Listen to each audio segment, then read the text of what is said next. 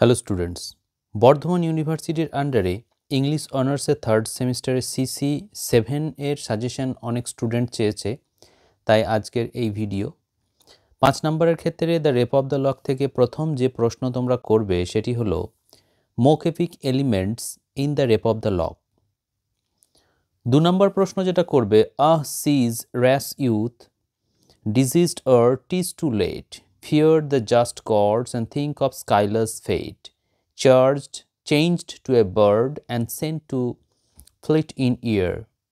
She dearly pray, pays to Narcissus injured here. Explain these lines. এখানে Scylla এবং narcissus নিসাসের যে স্টোরিটা আছে সেটা এখানে তোমাদেরকে লিখতে হবে এটা খুব ভালো করে করে রাখবে তিন নম্বরে যে প্রশ্নটা করবে সেটা হলো point out and explain two instances of bathos from the portions of the rape of the lock prescribed for you in your syllabus or in rape of the lock. তাহলে ব্যাথোস দুটি ব্যাথোস করে রাখবে। এরপর যে প্রশ্ন করবে রেপ অফ দ্য লক থেকে summarise the four different post mortal transmutations that comprise the super natural machinery of Pope's the Rape of the Lock অর্থাৎ মৃত্যুর পরে মহিলারা বা পুরুষরা কোন কোন এলিমেন্টসে রূপান্তরিত হয়? যেমন সালামান্ডার নিমস তারপরে সিল্ফ নোমস এই চারটে যে ট্রান্সফরমেশন হচ্ছে ট্রান্সমিউটেশন বা ট্রান্সফরমেশন এইটাকে বর্ণনা করতে হবে। Next question briefly discuss the subversion of any one epic convention in the Rape of the Lock আমরা জানি the Rape of the Lock একটি মোক এপিক পোয়েম এখানে কোন এপিক ফিচার্সটাকে সাবভার্স করা হয়েছে? অর্থাৎ সেটাকে তার বিপরীত জিনিস ব্যবহার করা হয়েছে, সেটা বর্ণনা করতে হবে। তাহলে পাঁচ নম্বরের ক্ষেত্রে এইগুলো করবে রেপ অফ দ্য লক থেকে।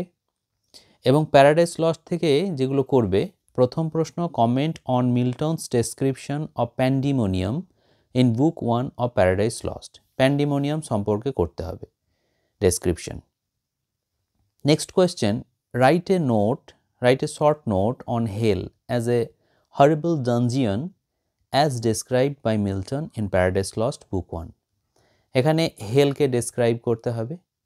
Next question comment on any one of Satan's speeches in Paradise Lost book one সার্টানের যে কোনো একটা স্পিচ করে রাখতে হবে। অনেকগুলো স্পিচ আছে। দুটি স্পিচ যদি করে রাখো, তাহলে দশ নাম্বার হয়ে যাবে এবং একটি করলে পাঁচ নাম্বারের হবে। Next question, comment on the significance of any one mountain mentioned in Paradise Lost Book 1 আমরা জানি Paradise Lost-এ অনেক মাউন্টেনের উল্লেখ আছে, যেমন সিনাই ওরেব বা হোরেব তাহলে এইগুলো সম্পর্কে একটু ভালো করে জেনে রাখবে। Next question mention two epic conventions in Paradise Lost book one দুটি এপিক কনভেনশন তোমাদেরকে লিখতে হবে। যেমন এপিক সিমিলি হতে পারে গ্র্যান্ড স্টাইল হতে পারে হুম, এই সমস্ত জিনিসগুলো বা গ্র্যান্ড সাবজেক্ট ম্যাটার এই সমস্ত জিনিসের উপরে লিখতে হবে। তাহলে চলো দশ নম্বরের ক্ষেত্রে কি কি প্রশ্ন ইম্পর্টেন্ট একবার দেখি।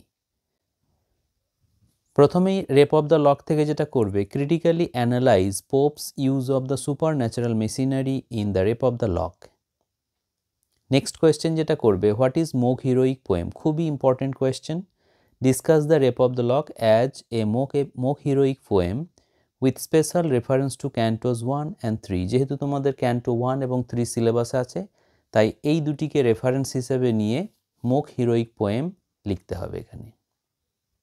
Next question comment on Milton's use of epic simile in Paradise Lost book one with reference to any two such similes এখানে অনেক এপিক সিমিলিজ আছে। এপিক সিমিলিজ তো তোমরা জানো যে যখন বিশদে কখন যখন তুলনা করা হয় দুটি জিনিসের মধ্যে যেমন এখানে স্যাটানকে লেভিয়াথানের সঙ্গে তুলনা করা হয়েছে, স্যাটানের সিলটাকে মনের সঙ্গে তুলনা করা হয়েছে। এই যে এলাবোরেট ডেসক্রিপশন বা এলাবোরেট যে সিমিলারিটি এখানে দেখানো হয়েছে, এটাই হচ্ছে এপিক সিমিলি। ঠিক আছে? Next question analyse any two speeches of Satan and comment on your impression of Satan's character as revealed through those two speeches এখানে স্যাটনের দুটি স্পিচকে বলতে হবে এবং সেই দুটি স্পিচের আলোকে স্যাটনের ক্যারেক্টারটাকেও তোমাকে রিপ্রেজেন্ট করতে হবে। নেক্সট কোয়েশ্চেন অরুণকু থেকে যেটা করবে discuss the themes of morality and power in অরুণকো। Next question the Shoemaker's Holiday is about love as an all conquering force discuss তাহলে ছ নম্বর দশ নম্বরের ক্ষেত্রে এই ছটি প্রশ্ন অবশ্যই তোমরা করবে। এর বাইরেও তোমরা অনেক প্রশ্ন করবে। এবং সিসি সিক্সের যে সাজেশন সেটা এখনও আমি দিইনি, সেটা কয়েকদিনের মধ্যেই তোমরা পেয়ে যাবে। আর তোমরা অনেকেই ভিডিও দেখছ, কিন্তু সেইভাবে লাইক এবং শেয়ার করছ না, যার ফলে চ্যানেলে রিচ বাড়ছে না এবং তার ফলে হয়তো কোথাও ইন্টারেস্ট ভিডিও তৈরি করার ক্ষেত্রে কমতি হচ্ছে। তাই সকলকে অনুরোধ করছি, অবশ্যই তোমরা লাইক শেয়ার এবং নতুন যারা তারা সাবস্ক্রাইব করবে, তাতে মোটিভেশন পাওয়া যাবে এবং নতুন নতুন ভিডিও তোমাদের জন্য আমি নিয়ে আসব। Thank you very much for watching this video have a great day